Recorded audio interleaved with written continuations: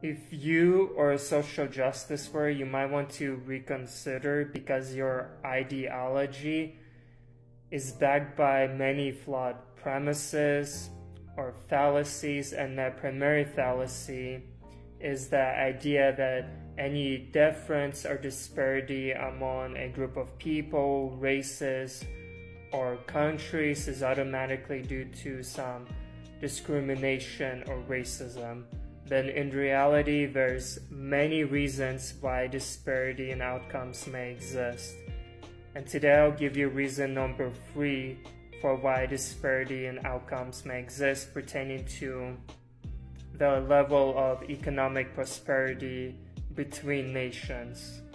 So why do some countries have a higher level of prosperity compared to others?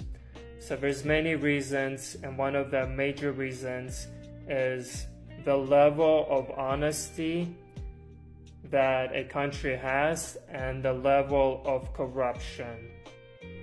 It is an economic advantage for a country or a nation to have a high level of honesty and a low level of corruption because people are gonna want to do more business there. They're more likely to move to places like that and move away from places that tend to be more corrupt and have a low level of trust.